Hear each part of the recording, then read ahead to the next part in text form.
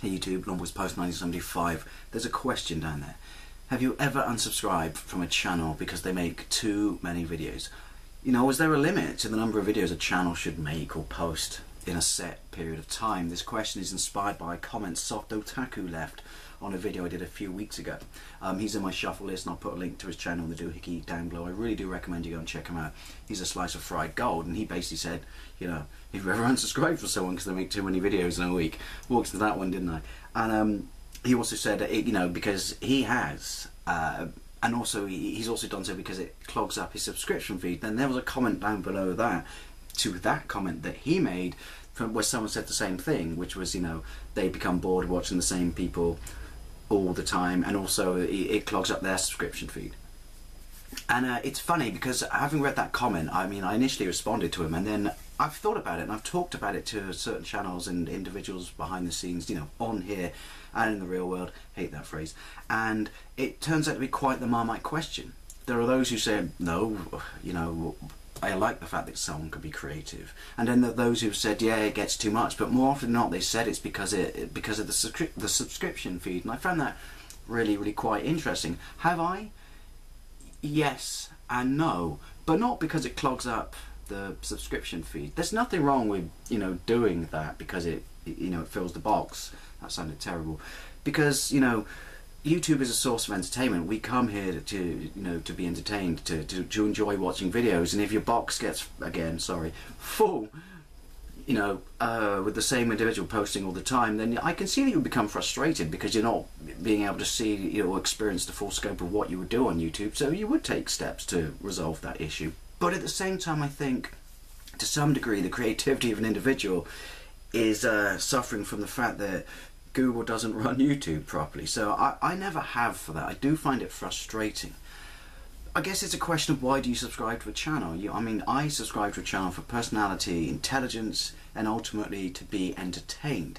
Uh, and if they can maintain that across a high volume of videos, then I'm loving it. I'm absolutely loving it. Also, most of the channels I subscribe to have a high turnover of videos uh, and have done from day one when I initially subscribed to them. People like um, Trouble 385 and you know the YouTube gaming community and people like Steve Benway, you know, they, they, they constantly ask interesting questions. They constantly talk about interesting subjects. When they do gameplays and things like that, they're always, always entertaining. And I like the fact that I know that at any one point, you know, there will be new content there I can go and check out. I really, really do enjoy that. But then I guess there's your casual person who watches videos uh, here and there and everywhere.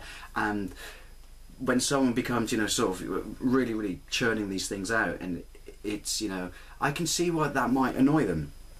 You know, why, why again the subscription feed, that they would think, oh, you, oh, unsubscribe because this has just ruined this for me and this is ruining for everything I watch. It's a question of taste, ultimately, isn't it? I mean, have I ever unsubscribed a channel because they make too many videos?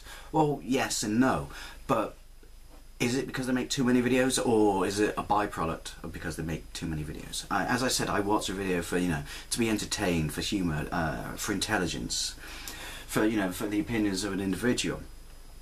If they start cranking loads out and it, it's maintained across that, I absolutely love it because YouTube is my new TV.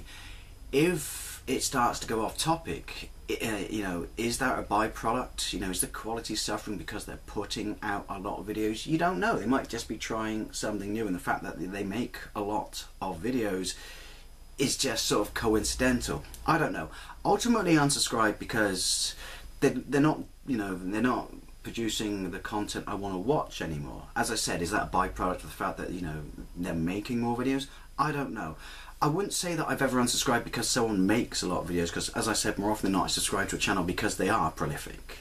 So yeah, it's it's an interesting question. I would love to know what you think. You know, do you unsubscribe when people start cranking it out big time, or you know, do you unsubscribe because you your subscription feed becomes kind of you know backed up and stuff like that, or do you just not care? Do you just accept that's a limitation of Google running YouTube?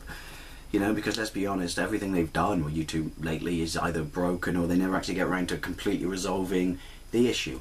I I ultimately unsubscribe to a channel because I don't enjoy their content anymore. That may not because they're mass producing, that just may be because they've changed as an individual. As I said, I would love to know what you think. But someone said to me something at work funny last night when I was talking to them about it, and they said they've uh, they've unsubscribed from channels because they, they, they make too many videos. But they did turn around to me and say, you know what's funny though, don't you? And I said, what's that, mate? And he goes, we always piss and moan that there's never anything on TV, or that the fact that our favourite show only has six episodes and then we have to wait a week, uh, a year for it to come back. And yet, when we have people on YouTube that we like to watch, um, and they start making too many videos, we unsubscribe.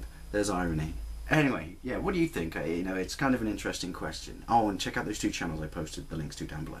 Thank you very much for watching, and I'll see you later.